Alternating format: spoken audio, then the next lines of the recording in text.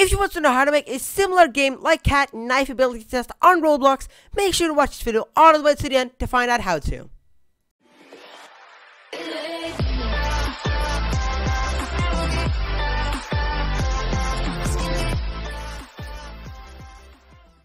Hey guys and welcome back to this banger video on my channel and in this tutorial I'm going to be continuing the KAT series. It took me quite a while because I have some epic video ideas. This is a corner. Anyways, this is KAT, KAT part 2. We're to try and make some things such as uh, I'm trying to make a spectating mode so if you're in the game you cannot spectate but if you're out of the game you can. Along with a uh, giving a knife system and maybe something more I even forgot. That's very embarrassing. Anyways, if you're new to the channel, make sure to like and subscribe because you'll be an epic gamer. Everyone wants to be that, you know? Because everyone wants to be an epic gamer. Anyways, let's continue. If you want to become a member, make sure to click the blue join button down below. I know it's a mistake on that. So we should continue on. So first of all, you have your game. Make sure to watch part one first. So get a replicated storage. If you add in a folder and you rename it to tools, and you search for knife in the toolbox, you can get the first one, knife. Put this tool in starter pack, no. Now drag it into tools. And that's it. Now you want to go to your minigame handler and over here at line over here when the player is getting teleported, game I'm gonna click this away. Game dot replicated storage dot tools dot knife colon clone dot parents is equals to players i with square brackets colon wait for child backpack. So what we're doing is if you're getting teleported, you'll get immediate knife. Oh, what you can do, because everyone gets teleported randomly, you may add like a one second detection for that. Now at the bottom over here, for i equals 1 players in game do, we're gonna get resetted. So before we before you get resetted, we're gonna remove your knife. So if um let's see. Okay, so what we're gonna do over here.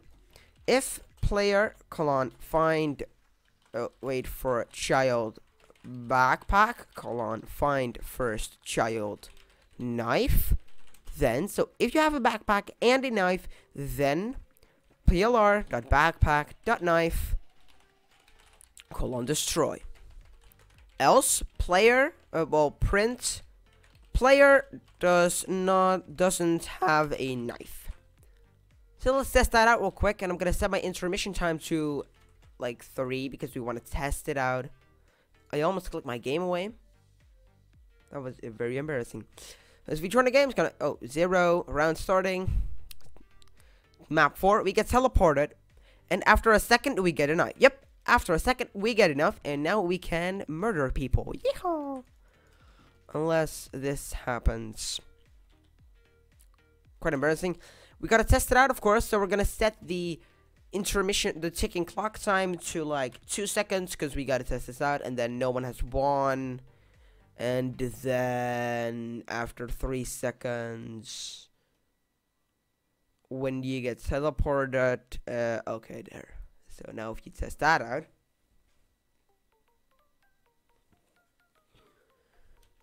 Okay round starting in three two one.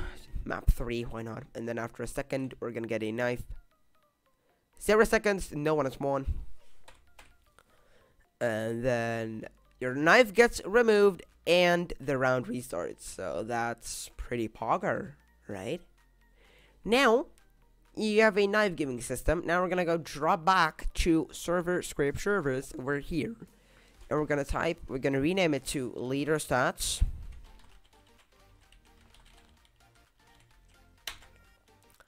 And you want to add in a folder with remote events and then um add in a remote event, de death, death, just death.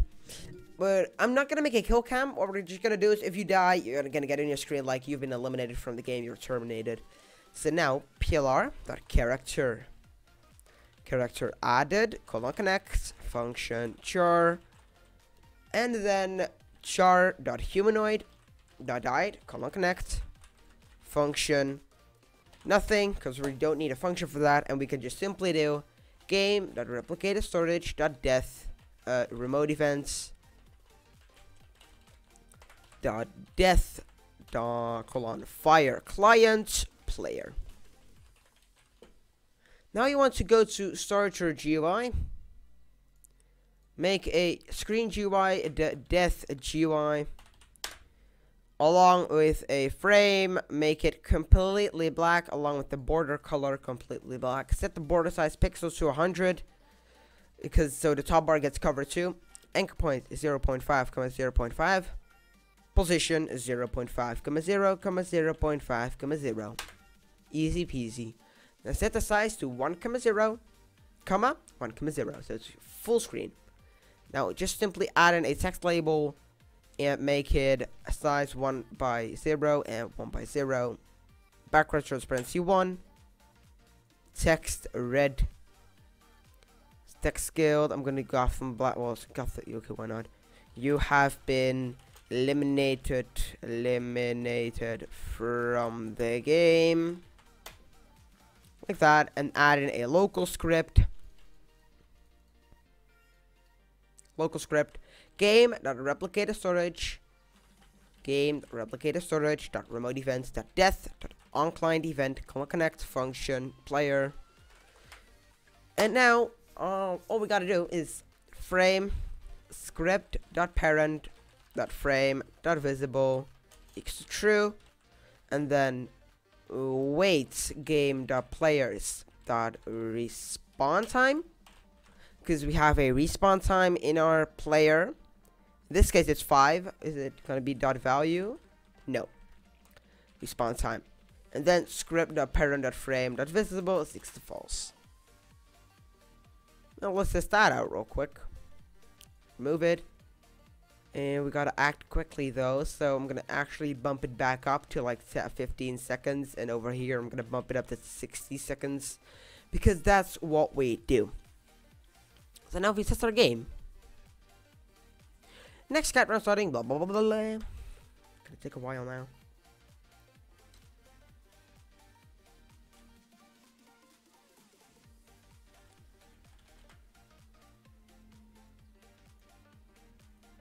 Okay. So now if we get over here, we're gonna get a knife, and we're gonna reset. Boom. You've been eliminated from the game. We died, but normally you die with a knife. And then, yeah, we gotta bump that up a bit. So instead of this, we're just to do wait 7. Play.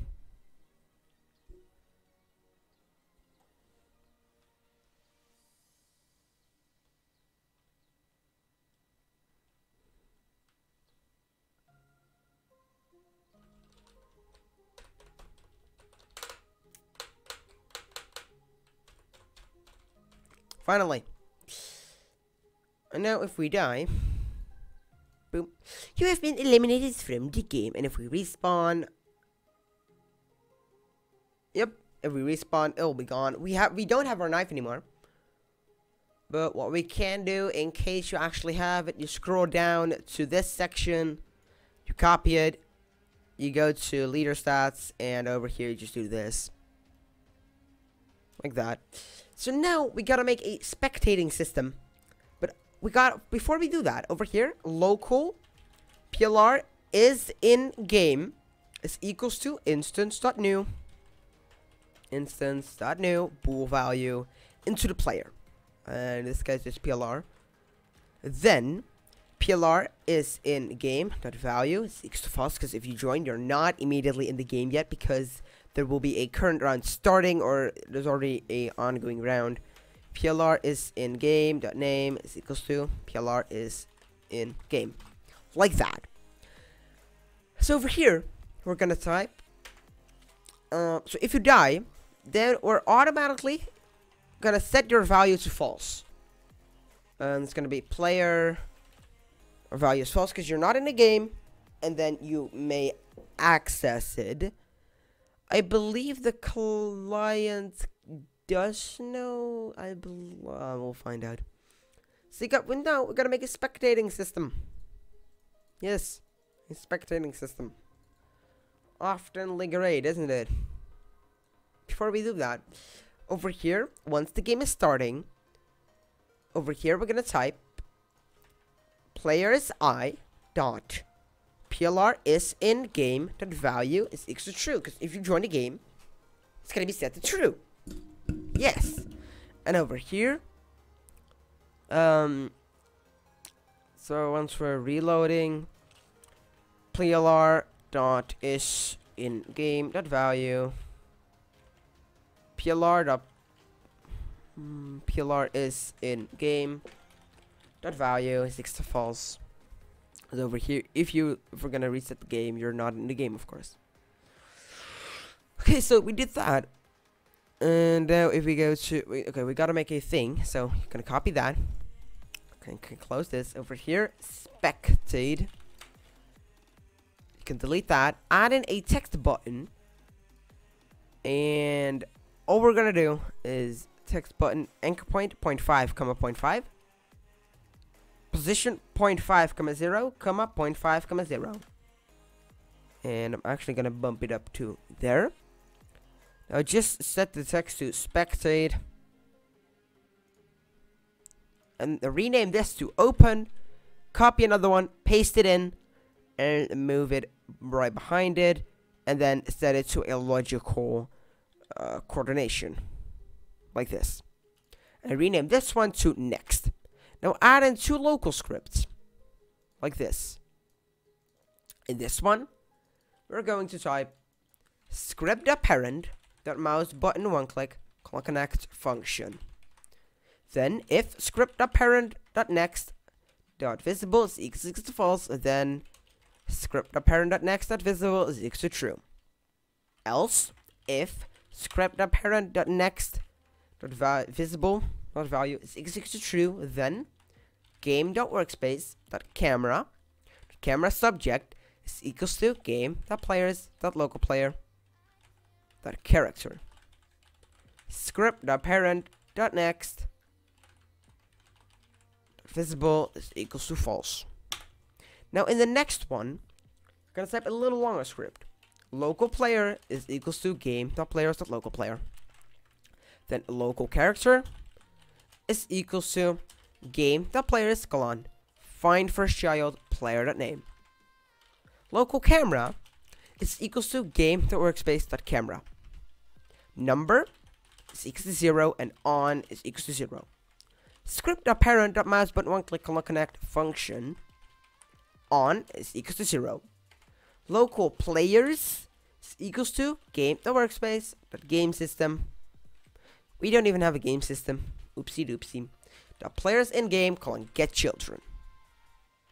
Number is equals to uh equals to number plus one.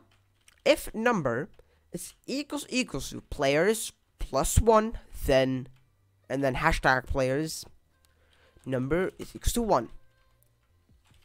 And over here, for i equals 1, comma, hashtag players do, on equals to on plus 1. If on is equals equals to number, then camera dot camera subject is equals to players i. And that's your spectating script. Wait, we're not done yet, newbie. Oh no, we're not done yet because all we do is uh, we allow it to be visible. Um, it's, it's a false. Let's see. We're gonna test it out first. And this one's going to be, of course, next and visible false. But we need two persons, so let's just figure that out. So what we're going to be doing, you're going to copy this in your open script. And then at the top, you're going to type local player. It's equals to game dot player is that local player.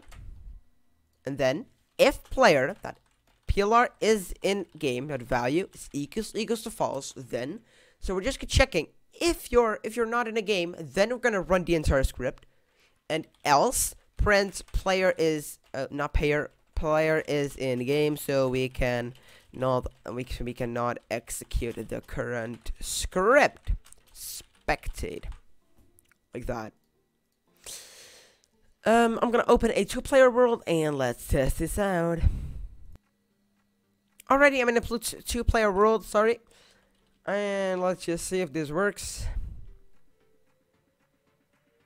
Okay, I was about to say. Can we assassinate you? Ha ha. Ha ha. Ha ha ha. So now, because that player will respawn. Uh, we did not die? Okay, that's because of the knife. And we're relaunching.